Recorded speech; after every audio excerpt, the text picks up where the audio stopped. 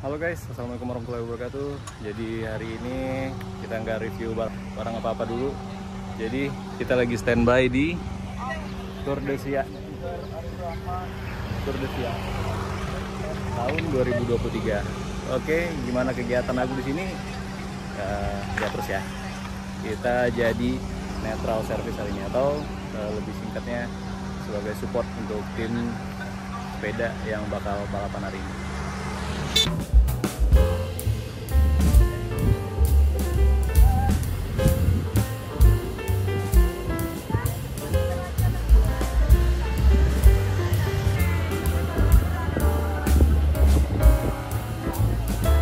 Jadi ini untuk sepeda tim sudah pada datang semua ya. Belum semua tapi udah sebagian udah datang semua. Dari Singapura, Vietnam, Malaysia.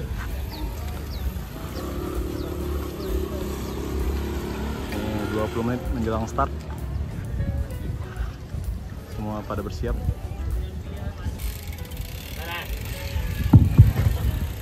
Kami informasikan kepada seluruh riders bahwa At 12.30, started at 12.30.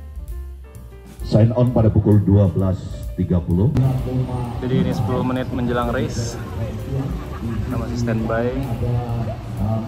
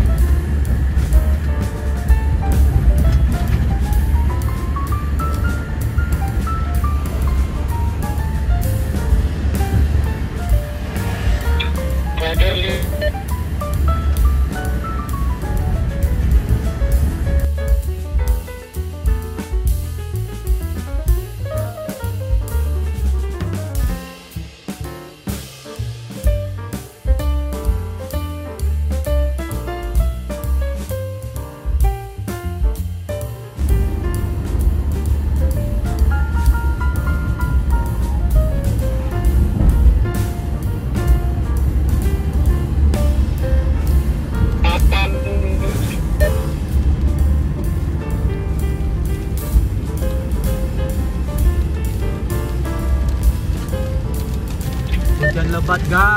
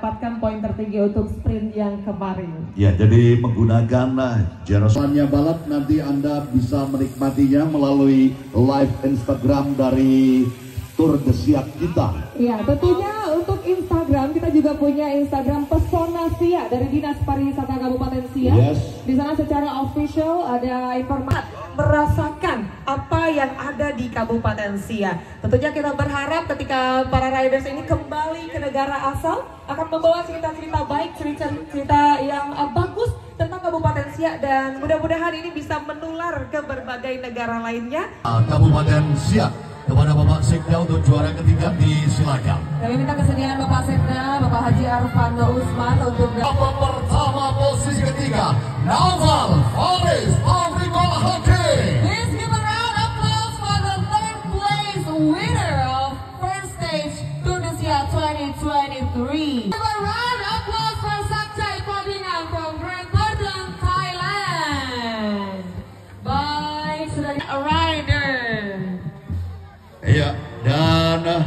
Berkenan kembali Kami jersey, yakni jersey kuning dan jersey hijau, maka jersey hijaunya diserahkan kepada poin kedua sprint. Inilah dia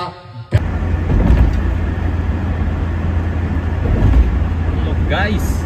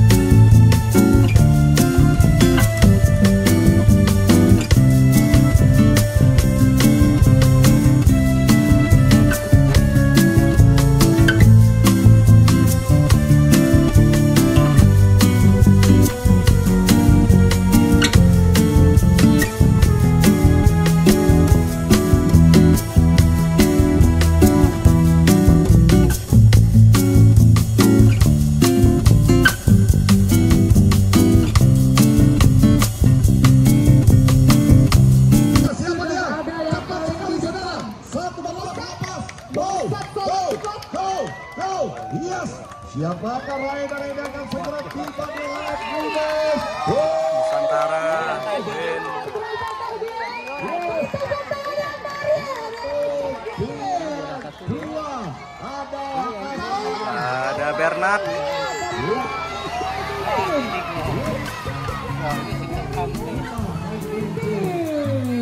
jadi bersama mereka menyelesaikan finish dalam drama yang berbeda. Ya, sebelum. Iya, jadi sebelum ini Anda benar-benar tuntas kami harapkan Anda untuk tidak memotong jalur.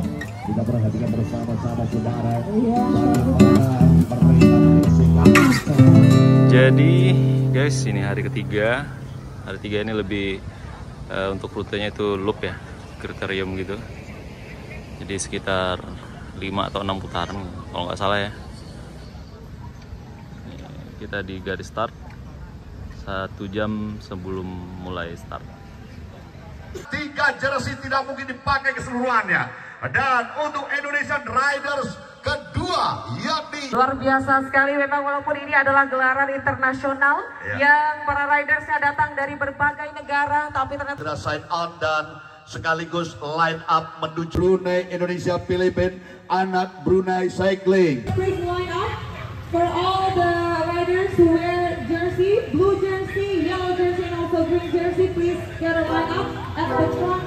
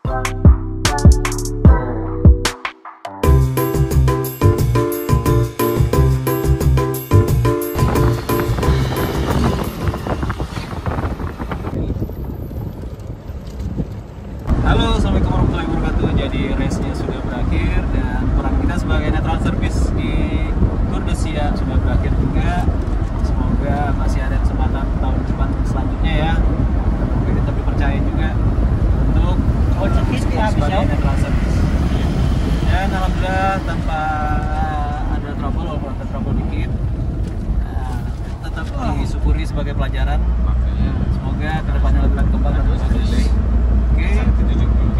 Aku ucapin buat teman-teman yang nonton. Terima kasih banyak atas dukungannya. Jangan lupa share like dan subscribe. Eh, aku ucapin assalamualaikum warahmatullahi wabarakatuh. Sampai jumpa di vlog selanjutnya. Thank you.